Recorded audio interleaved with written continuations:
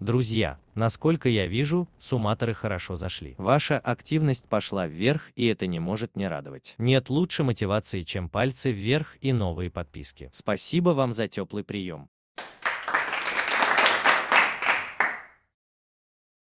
Всех приветствую. Это видео про элемент памяти. Не будет секретом, что у всех нас свои представления о том, что такое память компьютера. Кто-то сейчас приобрел пару планок памяти DDR4 для ноутбука на Авито. Кто-то сейчас рассматривает характеристики новых процессоров и сравнивает объемы кэш-памяти. Программист пытается ускорить перемещение данных из одной структуры в другую, для него сейчас нет разницы в какой памяти расположены эти данные. Его коллега, Разработчик игр тщательно рассчитывает размер структур для того, чтобы они умещались в той самой кэш-памяти. Почему одни программисты могут писать быстрый и качественный код, другие его безуспешно оптимизируют? Почему иногда важно помнить об инициализации содержимого памяти и почему некоторые технологии позволяют не заботиться об этом? Чтобы немного скинуть завесу черной магии с этих вопросов, необходимо рассмотреть устройство элемента памяти.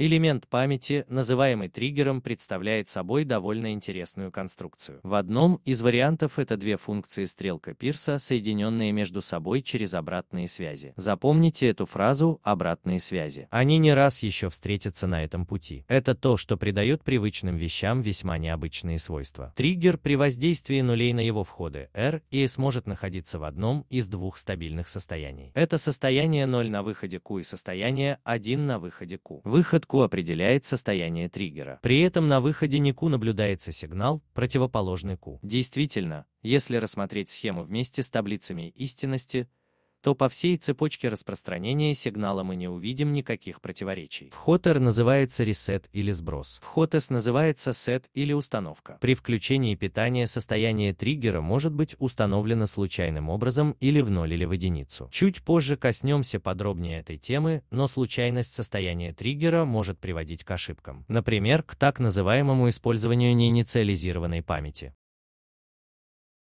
Пошагово рассмотрим все режимы работы триггера. Начальное его состояние обозначим в таблице как Q прошлое. Как мы помним, состояние может быть два. Назовем любую единицу на входе триггера воздействием на него. 0 это отсутствие воздействия. Для начала убираем всякое воздействие на триггер и видим, что состояние триггера не меняется. Это полезный режим работы. Называется он режим хранения. Дальше воздействуем на триггер через вход установки. В этом случае состояние триггера установится в единицу какое бы состояние не было начальным. Этот полезный режим называется установкой.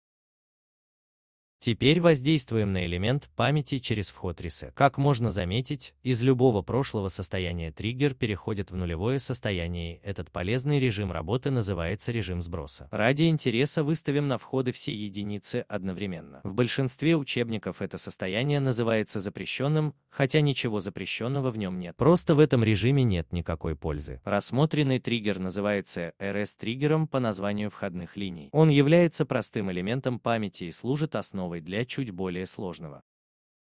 Немного улучшений в RS-триггер придадут ему еще больше полезности. Для начала снабдим его управляющим входом C. Как можно заметить, этот вход через конъюнкцию отрывает ячейку памяти от внешних воздействий. Таким образом, без единицы на входе C триггер будет продолжать хранить информацию, что бы ни происходило на входах. Такой триггер назовем синхронным RS-триггером. Дальше оставим один вход D, причем инвертируем его для подачи в то место, где был сброс, оставим без изменения для подачи в то место, где была установка. Вот тут произойдет самое интересное. Теперь мы имеем возможность сохранять состояние сигнала D. Действительно, если D было равно единице, то произойдет установка триггера. Если на D 0, то произойдет сброс. Такой триггер называется D-триггером.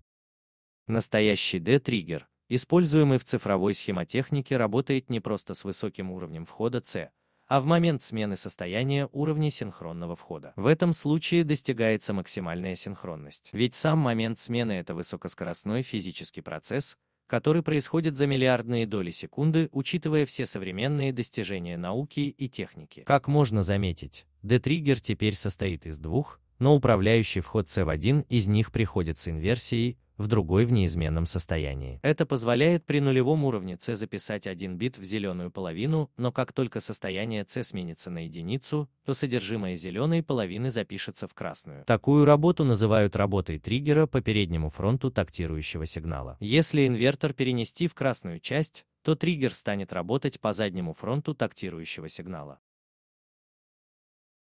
В завершении нашего обзора стоит упомянуть, что соединять D-триггеры можно как параллельно, так и последовательно. Если необходимо хранить не один бит, а двоичные коды из множества бит, то применяют параллельное соединение. Его называют регистром. У косой черты обычно указывают, сколько бит может хранить такая схема. Очень часто необходимо организовать последовательное движение бит один за одним. В этих задачах применяются последовательные соединения D-триггеров. Теперь у такой схемы на входе не двоичное слово, а один бит, но на выходе можно считать несколько хранящихся там бит одновременно. Обычно число таких бит написано около косой черты. Самое яркое применение такой конструкции – это простая бегущая строка. На этом моменте возьмем паузу и переварим информацию пару дней. Продолжение обязательно следует. Не забываем подписываться, чтобы не пропустить ничего интересного и даже простой дружеский лайк содержит много душевного тепла. Спасибо.